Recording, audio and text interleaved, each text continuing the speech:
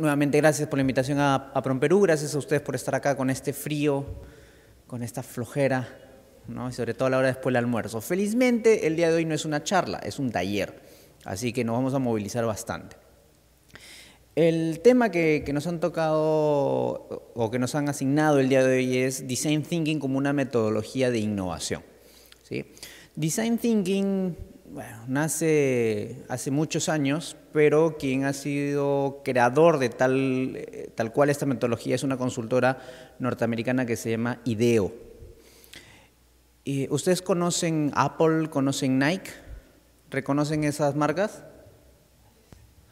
Sí, ¿no? ¿Consideran ustedes estas marcas como creativas? Sí, ¿no? Imagínense, cuando Nike o cuando Apple se quedan sin ideas de qué producto sacar, llaman a esta consultora para decirle, oye, ayúdame. ¿Sí? Así, para que vean el, grado de consultora que estamos hablando en temas de innovación. Bueno, entonces eso es lo que vamos a hacer el, el un poquito más. ¿no? Innovaris Lab es un proyecto que junto con tres amigos más hemos desarrollado, somos una consultora en temas de innovación.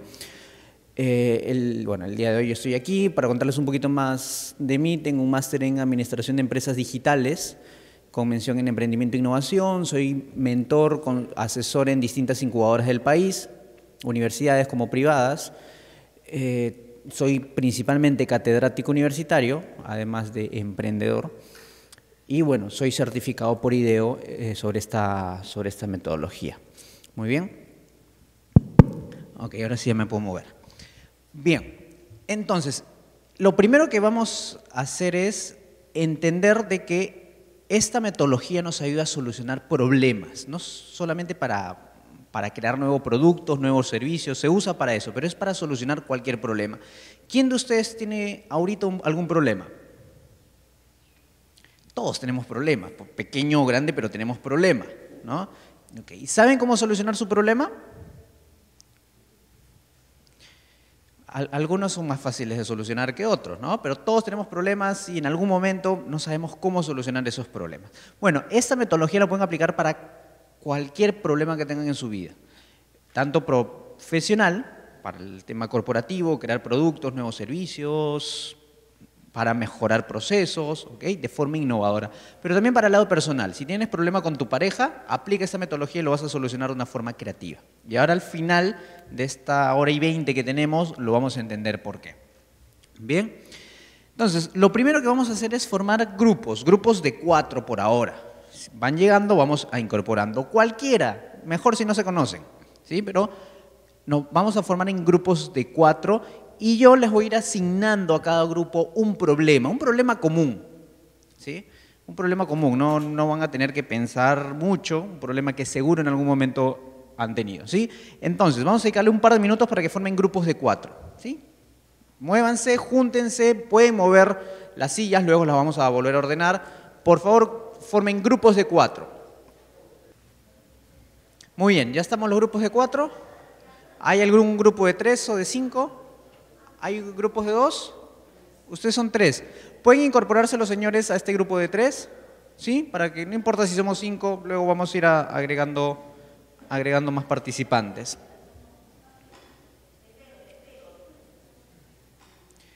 Muy bien.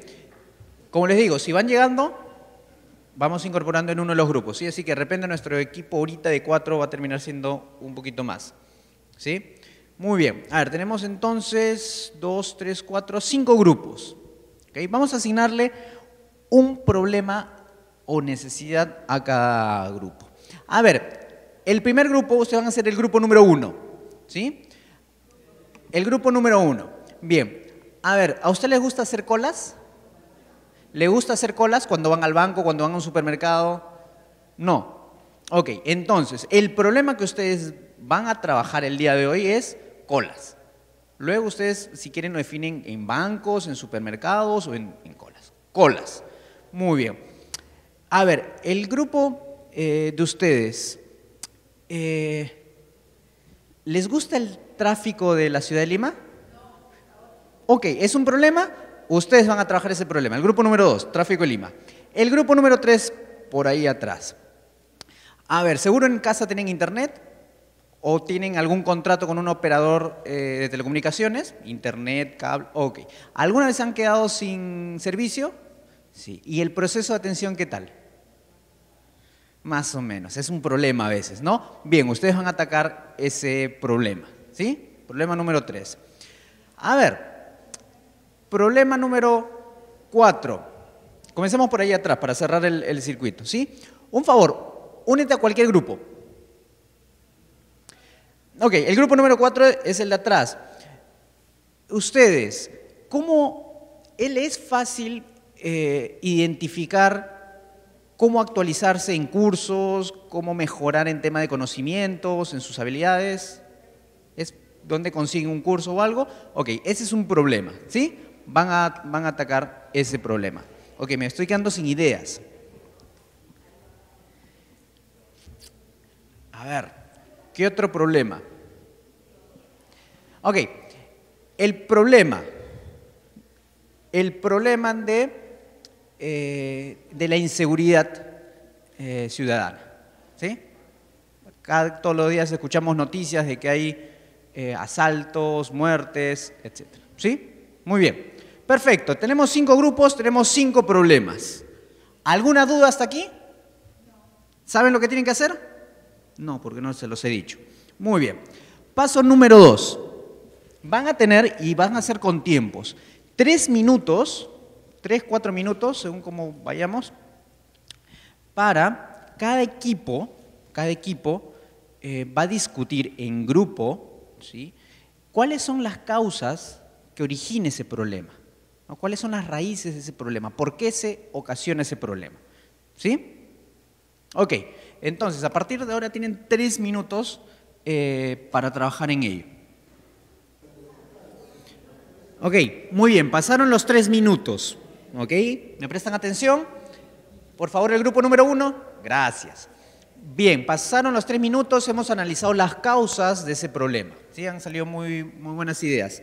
Ahora, lo que vamos a hacer es, ¿qué es lo que ocasiona ese problema para los usuarios que interactúan con dicho problema? Por ejemplo, ¿qué es lo que genera eh, ahora que han venido acá y se han topado con el tráfico de Lima? ¿Qué les ha generado? Algunos que han llegado tarde, ¿no? Otro que le ha generado estrés. A mí, por ejemplo, yo ahorita estoy con dolor de cabeza por el tráfico, ¿no? Ok, entonces analicemos qué es lo que genera al usuario ese problema. Muy bien, se nos fueron también los tres minutos. A ver, ¿me prestan atención los cinco equipos?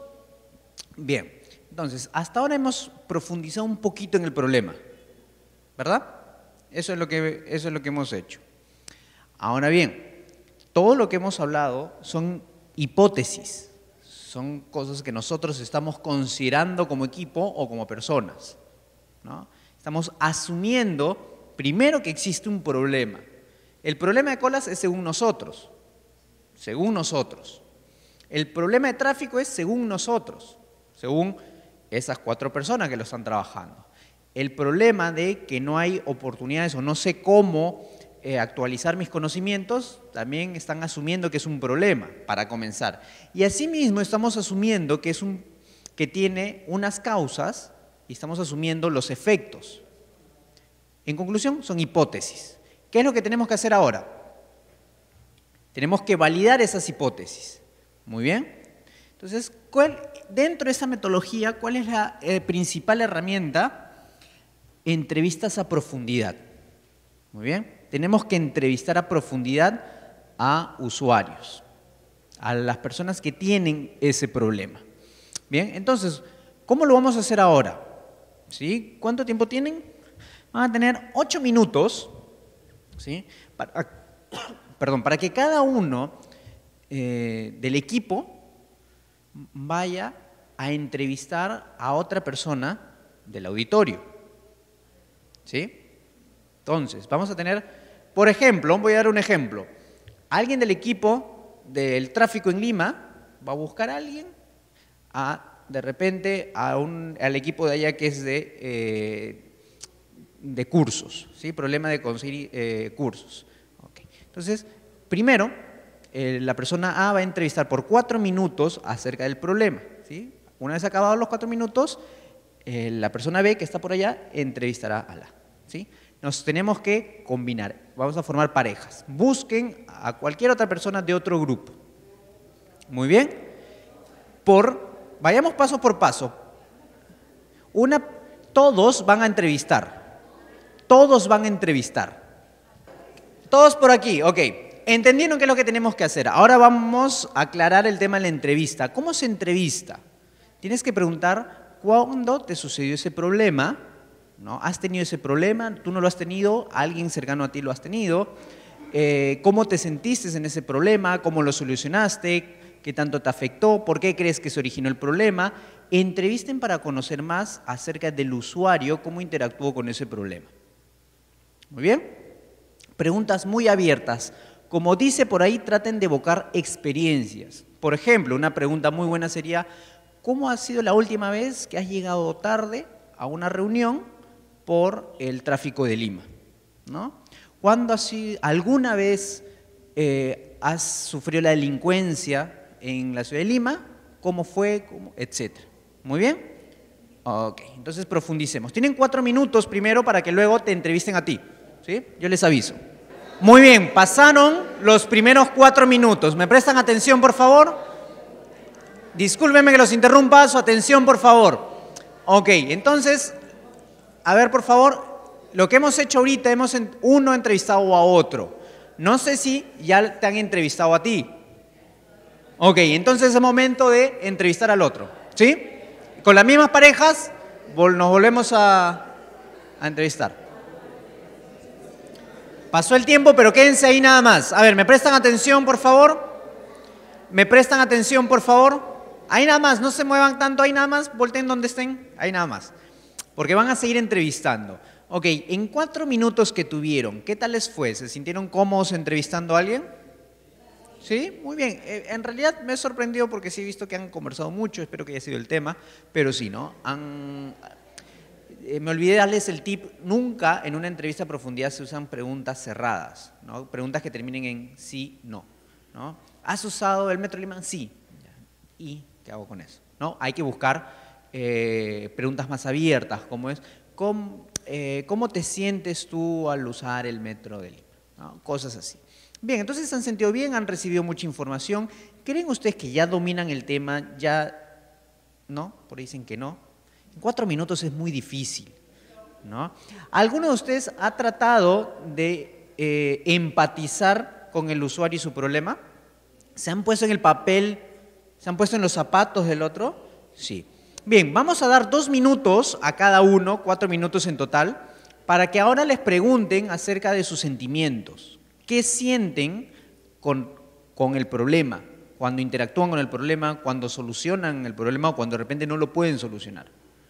¿Sí? Vamos a enfocarnos ahora a preguntar, a entender sus sentimientos y el porqué de esos sentimientos. ¿Bien? Tienen dos minutos para que entreviste cada uno, es decir, cuatro en total. Muy bien. Comenzamos ahora y yo les digo cuando pasen los dos minutos para que hagan el cambio. Con la misma persona. Muy bien. Paso número seis. ¿Ok? A ver, entonces, si hacemos un resumen hasta ahora. Hemos planteado hipótesis acerca del problema.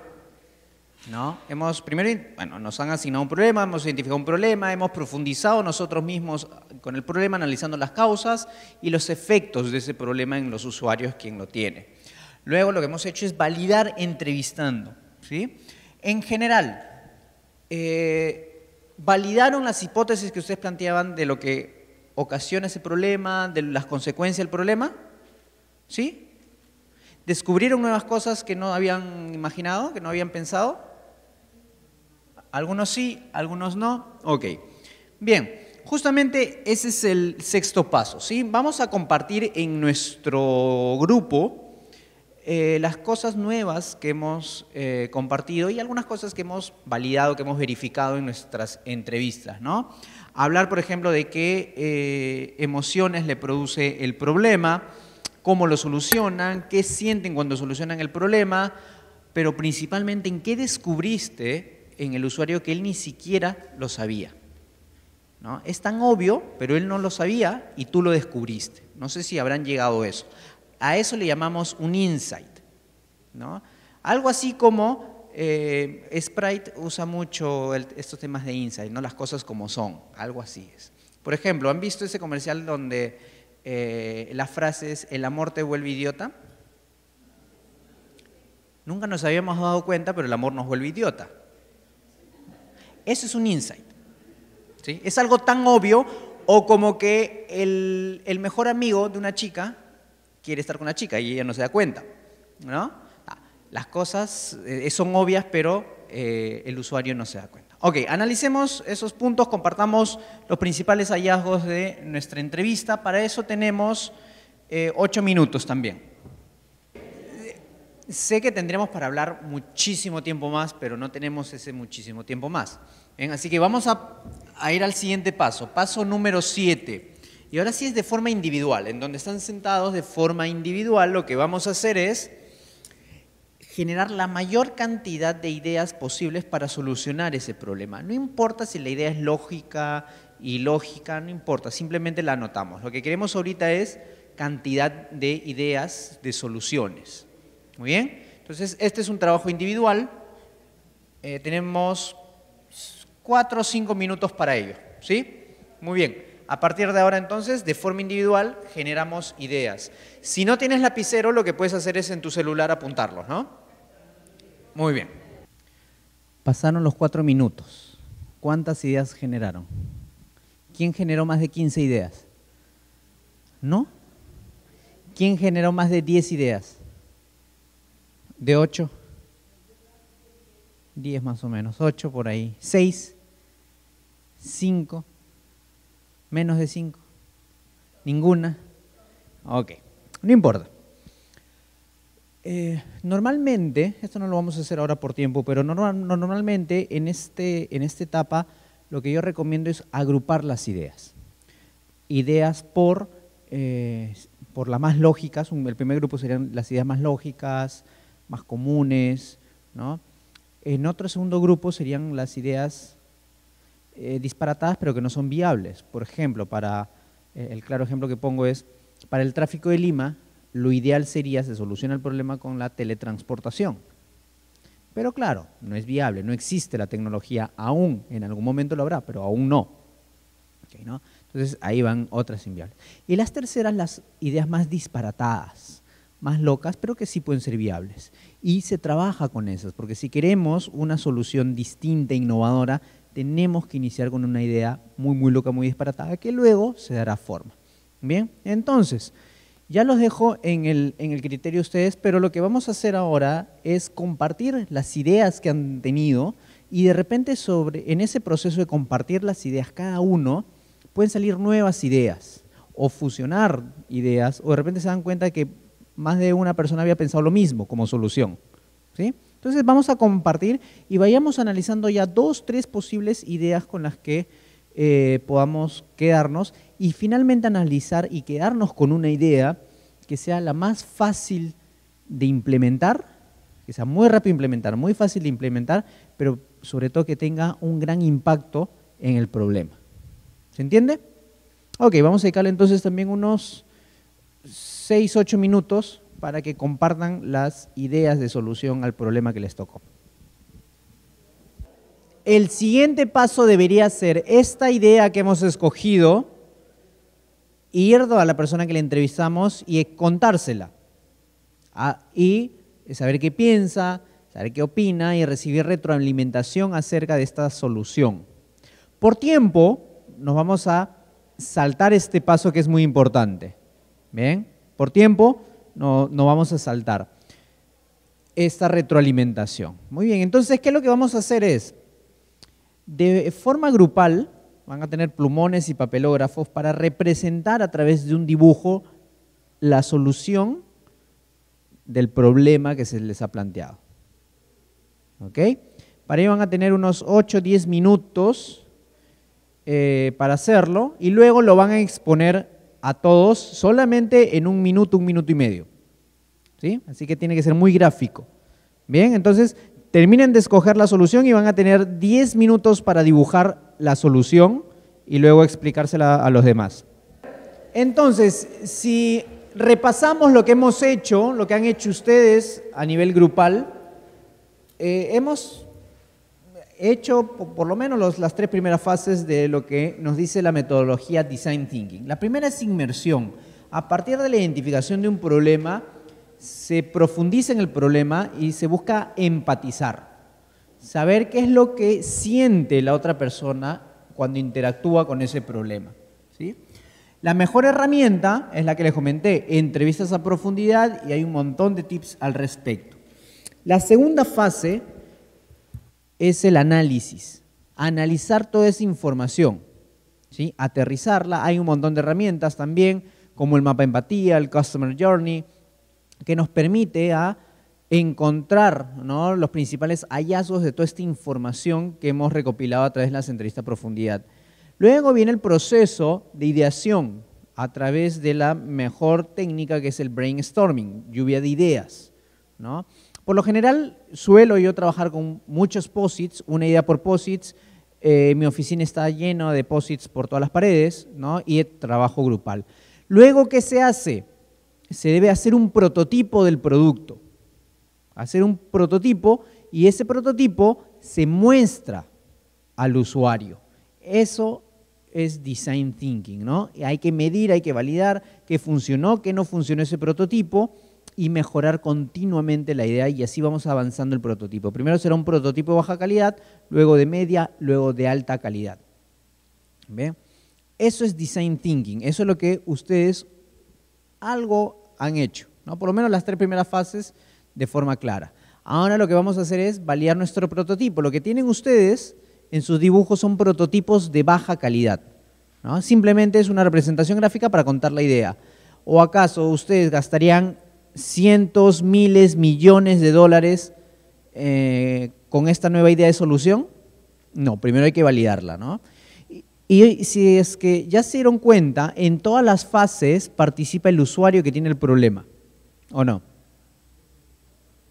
¿No? Esa es la clave de Design Thinking, co-crear con el usuario. Buenas tardes.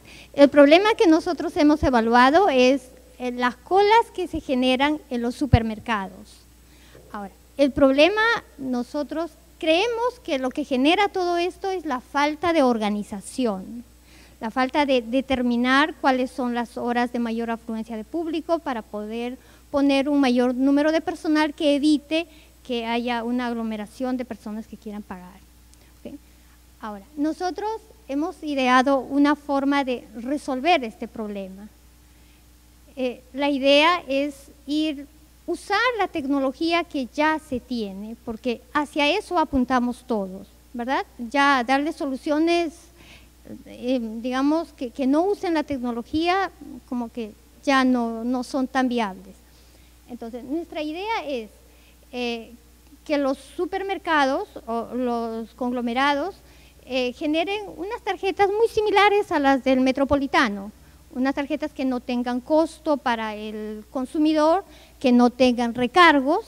Entonces, con esa tarjeta, una tarjeta recargable, la persona que va al supermercado hace un listado, eh, más o menos hace un cálculo de cuánto es lo que va a gastar, llega al supermercado, recarga su tarjeta con el monto que ha que es destinado para ese consumo, luego ingresa toma sus productos y ya el supermercado debe de tener lugares específicos por donde el consumidor va a escanear sus productos.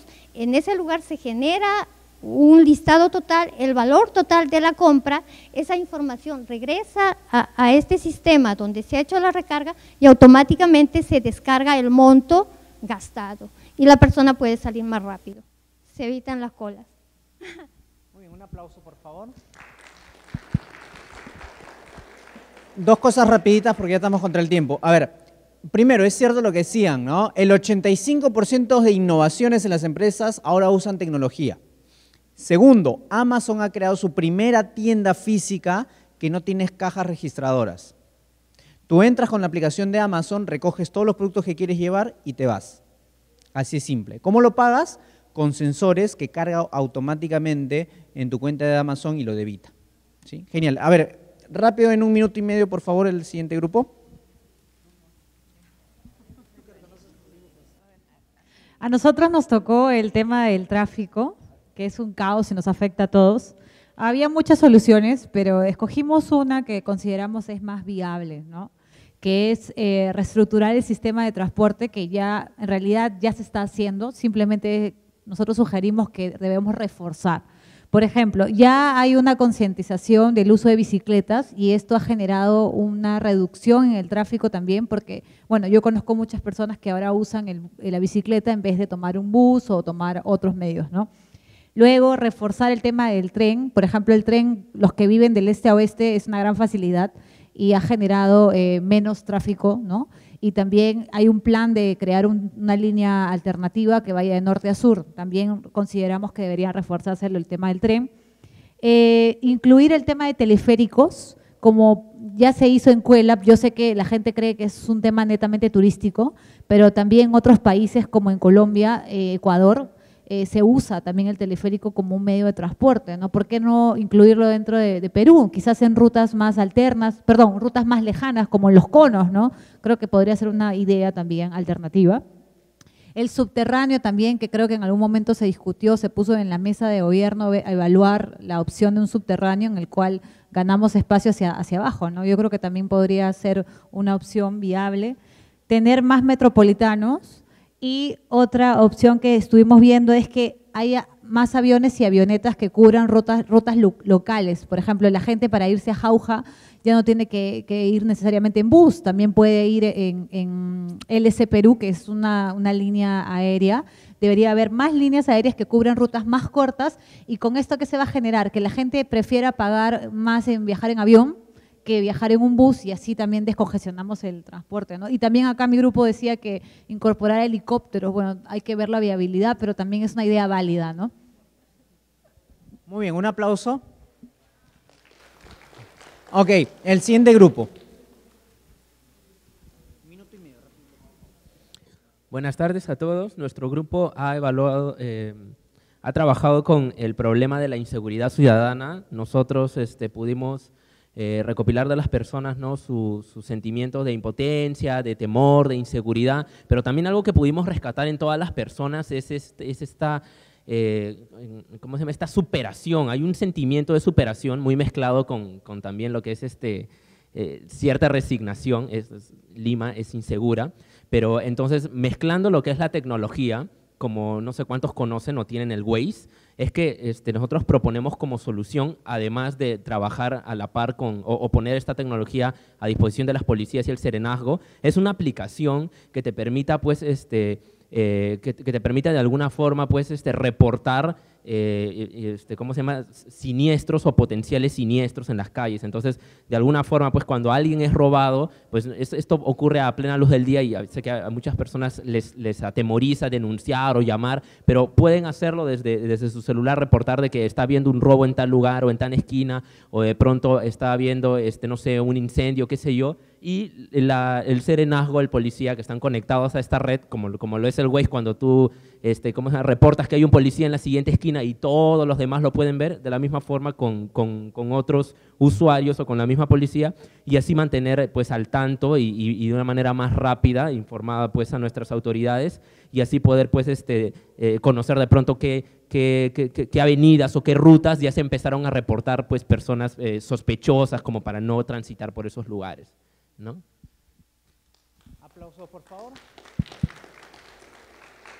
Muy bien, van dos tecnologías de tres. A ver, en un minuto y medio, por favor, ¿pueden mostrar el...? ¿Qué tal? Buenas tardes. A nosotros nos ha tocado explicar acerca de la dificultad que existe para hallar cursos, este, capacitaciones, entre otros. Bueno, muchos de los casos es que siempre existe este, la idea de acá que siempre las este, capacitaciones y los cursos se tienen que llevar físicamente. Una de las soluciones que nosotros hemos este, hallado es llevar cursos virtuales. Como pueden apreciar acá en la casa, bueno, supuestamente es una persona que está pensando si debe llevar el curso este, virtual o físicamente. Y también una solución este, un poco innovadora es que existan, o sea, de esta institución, que se repartan los distintos profesionales a un grupo de estudios, por así decir, y bueno, que se les capacite a las personas y una vez capacitados, el mismo, este, la misma, el mismo eh, la misma institución este, les brinde los certificados o les reconozca como que ellos han llevado los cursos. Y bueno, esa sería este, la idea que hemos planteado, las ideas que hemos planteado. Sí, buenas tardes. A nosotros nos, nos tocó conexión a Internet. Voy a indicar este, los principales problemas que nosotros hemos podido encontrar eh, luego de conversar entre como equipo. Es falta de capacitación al personal que este, atiende, eh, falta de cobertura, eh, problemas, porque normalmente la línea normalmente siempre se corta, deficiencias técnicas y administrativas, lo que genera este tema, este malestares en los usuarios, un poco de frustración y eh, no poder avanzar lo que nosotros podríamos hacer, lamentablemente, sobre todo en tiempos, este, en tiempos de mayor afluencia, se presentan los problemas. Y bueno, con, respecto a esto, estamos planteando esta solución, que bueno, en el gráfico a grosso modo lo, voy a explicar, es que, las, las, conexiones que ya tenemos o los operadores que ya existen en el Perú, o sea, solicitarles o, por un tema con un respaldo del gobierno, pedir que estas se repotencien, que estas se mejoren y en donde hay insuficiencia de cobertura, que creen alianzas para que todas puedan para que todas puedan este, brindar el servicio en todos los lugares del Perú. Aparte de eso, la Azul representa a una extranjera, que, que, invitemos a una empresa de telefonía extranjera que tenga la calidad mejor, que, que supere a las operadoras que ya existen actualmente en el Perú. Eso es todo, gracias. ¿Qué debería hacerse con esto? Validar con el usuario, ¿no? Validar con las personas que tienen ese problema, validar con las empresas que dan la solución a, esto, con el gobierno en algunos de los casos, etc. Esto es Design Thinking, es una metodología, como le dije, lo pueden aplicar en todo campo. Yo lo hago acercándome a mis alumnos, como soy catedrático universitario, para mejorar la clase. ¿no? Entonces, es una retroalimentación constante, empatizar con, eh, con los usuarios que tienen el problema. Muy bien, espero que les haya gustado. Eh, luego me quedo si hay alguna duda o alguna pregunta, pero ya estamos con, con el tiempo. ¿sí? Nos vemos en otra oportunidad. Muchas gracias.